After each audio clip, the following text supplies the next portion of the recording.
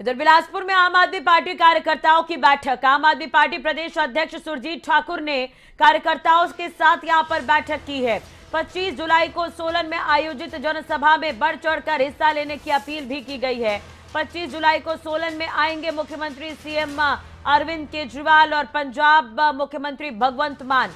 सुरजीत ठाकुर ने प्रदेश की बीजेपी और कांग्रेस पर निशाना साधा। तो बीजेपी, कांग्रेस ने सिर्फ़ प्रदेश को मुद्दे ही दिए हैं।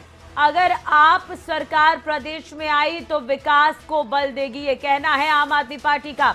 आम आदमी पार्टी के प्रदेश अध्यक्ष सुरजीत ठाकुर ने सर्किट हाउस बिलासपुर में पार्टी कार्यकर्ताओं के साथ बैठक की। उन्होंने 25 जुलाई को सोलन में आयोजित विशाल जनसभा में बढ़ चढ़ कर हिस्सा लेने की अपील की है।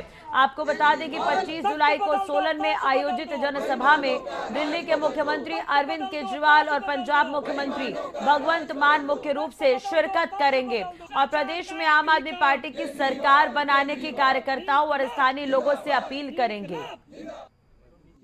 की हमारी 25 तारीख को हमारे नेता अरविंद केजरीवाल जी सोलन में आ रहे हैं तो उस चीज़ को लेके भी मंत्रणा होगी।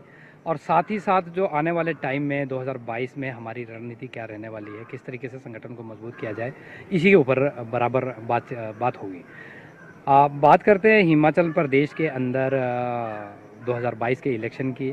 तो आज तक इन दोनों पॉलिटिकल पार्टियों ने मुद्दों के अलावा हिमाचल प्रदेश को कुछ नहीं दिया। बात करें बिलासपुर में तो बिलासपुर में देखिए यहाँ सीमेंट बनता है। और सीमेंट से जो सड़कें टूट रही है जो सीमेंट जाकर पंजाब या दिल्ली में सस्ता हो जाता, वही चीज़ हमें यहाँ पे महँगी मिल रही है। ये सेटिंग कहाँ चल रही है? ये देखने वाली बात है। और समय समय पर ये कंपनियाँ अपने रेट बढ़ाती रही, पर किसी तरीके का कोई भी यहाँ पर विरोध, प्रदर्शन ना तो पक्ष द्वारा होता है, ना विपक्ष द्वारा होता है। ये सब सेटिंग है, इनकी मिली भगत चल रही है, क्योंकि इन लोगों को, इन कंपनियों से मोटा चंदा मिलता है, इसलिए ये नहीं बोलते। यहाँ पर हिमाचल प्रदेश की जनता को पाँच पाँच साल की जो गुलामी शिफ्टों में दी जा रही है, इन दोनों पोलिटिकल पार्टियों के द्वारा दी जा रही है। पहली बार हिमाचल प्रदेश की जनता के पास एक मज़बूत विकल्प आया है, आम आदमी पार्टी के रूप में आया है और बड़ी उत्साहित है जनता। जिस तरीके से हम लोग लोगों के बीच में जा रहे हैं, लोगों के बीच में जिस तरीके का उत्साह है, उस चीज़ से पता लगता है कि इस बार बदलाव ही नहीं, एक बड़ा बदलाव होने वाला है। इस बार हिमाचल प्रदेश की जनता सिर्फ़ सत्ता परिवर्तन के लिए नहीं, व्यवस्था परिवर्तन के लिए वोट करने वाली है।